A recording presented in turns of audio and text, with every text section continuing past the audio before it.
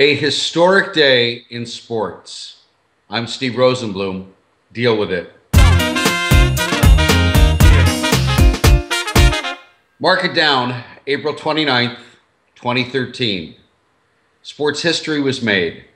Jason Collins, an active NBA player, announced himself as gay. He told Sports Illustrated, It's a magnificent, wonderful, heartfelt piece. It's a bit of a diary, but it's more of an explanation, well thought out, mature, thankful for how he got to the point where he could openly admit that he's gay, and he's the first active pro athlete in any American sport to do that.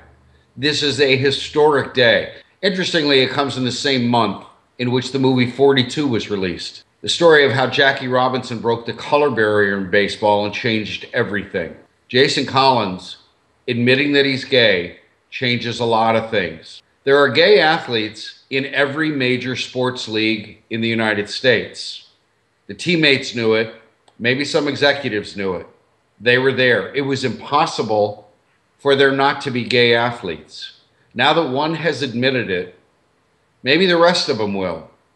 Maybe they'll all feel comfortable enough to admit that they're gay, and maybe this won't be a story soon. Historic day. Remember it. I'm Steve Rosenbloom. Deal with it.